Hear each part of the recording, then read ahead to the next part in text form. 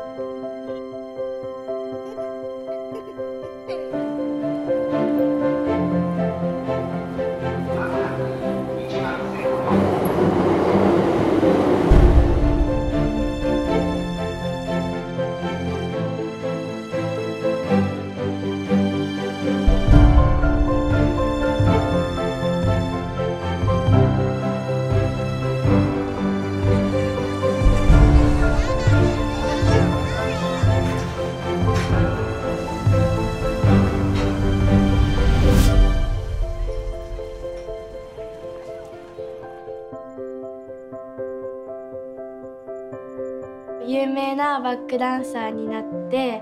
人に笑顔いろんな人に笑顔になってもらえたら嬉しいなって思います。とドラムを叩いているのでドラマーになりたい。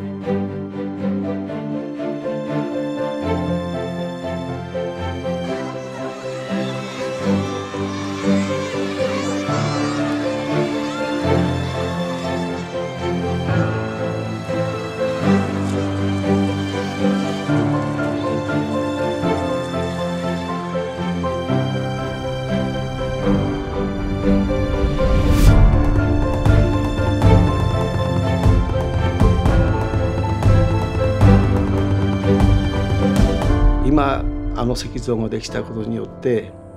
子どもたちも私たちも生活の中に何か象徴となるような支えとなるようなものができたんではないかなという思いでおります。